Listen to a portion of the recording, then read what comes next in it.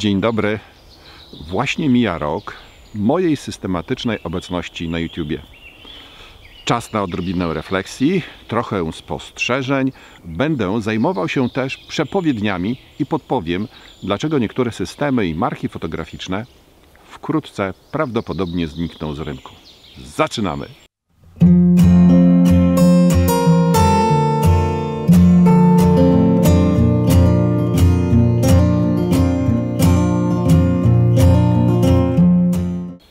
Teoretycznie mój kanał na YouTubie jest od bardzo, bardzo dawna, ale w praktyce w miarę systematycznie prowadzę go od roku.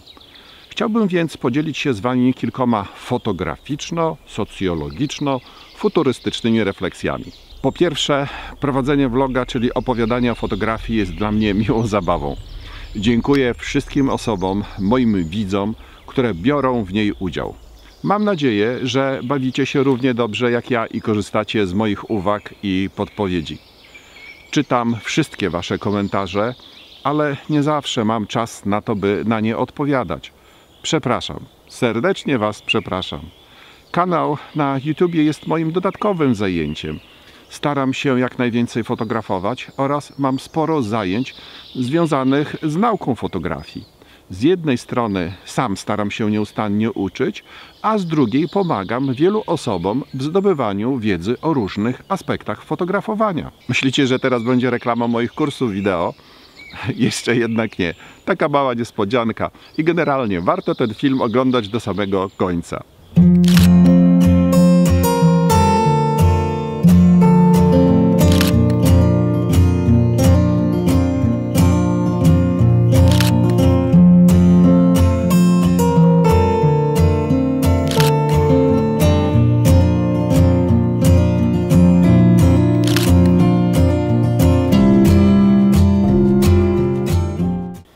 Okazało się, że najbardziej oglądane są na moim kanale filmy opowiadające o sprzęcie fotograficznym. Muszę się przyznać, że o ile w zasadzie nie powinno mnie to dziwić, to jednak trochę mnie ten fakt martwi. Fotografia wykorzystuje techniczne narzędzia, ale według mnie jej moc tkwi w pozatechnologicznych aspektach. Widzenie światła, ciekawość świata, wyobraźnia, samodzielność, kreatywność, cierpliwość to są według mnie najważniejsze cechy osoby chcącej robić coraz lepsze zdjęcia. Istotna też jest chęć i umiejętność opowiadania ciekawych historii. Jednak widzę, że należę do tej YouTube'owej mniejszości. Trudno. Nadal będę robił to, co lubię, jak umiem i tak, aby przy okazji inne osoby miały też z tego radochę. Fotografuję tymi samymi obiektywami chyba od 10 lat. Marki aparatu nie zmieniam także od wielu, wielu lat i obserwując rynek nowości kompletnie nie widzę uzasadnienia dla wypuszczania co roku nowego modelu aparatu albo obiektywu. Istotny krok technologiczny według mnie pojawia się obecnie co najwyżej od 3 do 5 lat, a wszystko co jest pomiędzy to w zasadzie marketingowe wypełniacze. Jedna z firm promuje nadchodzący model aparatu tym, że będzie kręcić filmy w 8K. Jakiemu fotografowi jest to w zasadzie potrzebne?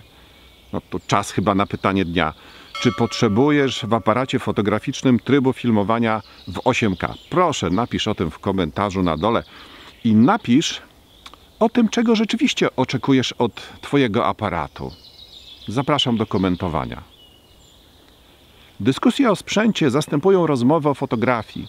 Całe szczęście, że nadszedł kryzys i wymiecie rynek z rzeczy nieciekawych, prawdopodobnie także ciekawych, jak to bywa w takich przypadkowych zdarzeniach.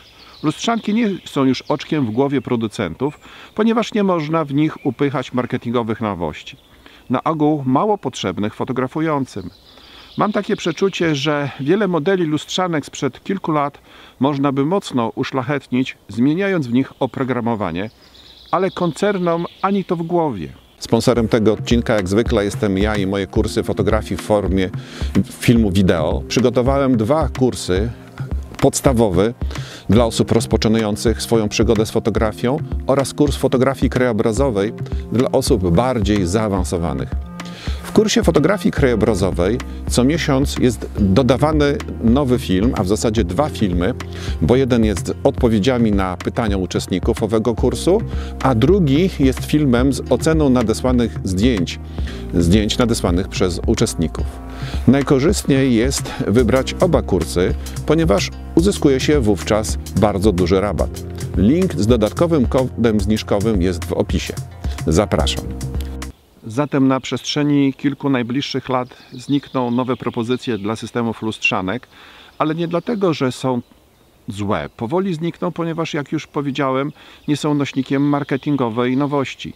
Znikną też trochę egzotyczne systemy bez lusterkowców i w zasadzie na rynku fotograficznych nowości pozostaną rywalizując o kieszenie klientów Sony ze swoim systemem E, Canon z systemem RF, Nikon z systemem Z, Fuji z systemem X.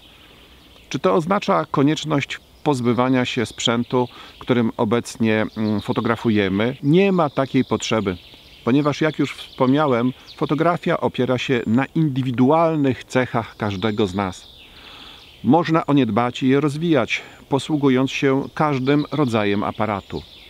Bardziej niż strony z opisami technicznych możliwości aparatów, warto oglądać jeszcze więcej zdjęć, analizować ich walory artystyczne. Trzeba dłużej spoglądać na zasoby muzeów i galerii z dobrymi obrazami innymi dziełami sztuki. Musimy zdecydowanie więcej czasu spędzać na fotografowaniu i szlifowaniu swoich umiejętności oraz zdobywaniu praktycznego doświadczenia. Mam wielką nadzieję, że ów kryzys pozwolą na dostrzeganie i docenianie właśnie owych ludzkich, humanistycznych aspektów fotografii i fotografowania, czego z całego serca Wam i sobie życzę. Sprzęt nie ma wprawdzie y, zbyt wielkiego znaczenia, ale chciałbym wkrótce dokonać takiego małego porównania dwóch aparatów z systemem Z, czyli Nikona Z6 pełnoklatkowca i y, Nikona Z50 aparatu z matrycą APS-C. Zobaczymy, co one potrafią. Także zapraszam gdzieś tam, gdzieś tam w przyszłości będzie taki odcinek. I to już wszystko w tym odcinku markowego vloga o fotografii. Jak zwykle dziękuję za to, że poświęcasz dla mnie owe kilkanaście minut. Proszę o pozostawienie żebrolajka. To ważna sprawa nie tylko dla algorytmów, ale także dla mnie. Widzę po prostu, czy moje opowieści budzą Twoje zainteresowanie.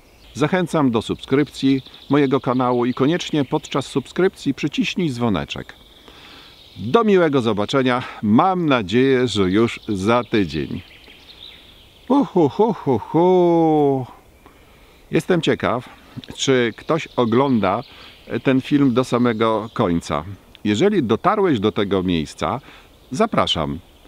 Napisz w komentarzu słowo dotarłem albo dotarłam, a ja pośród tych osób, które napiszą takie słowo w komentarzu, rozlosuję dwa albumy fotograficzne moje opowiadające o Podlasiu.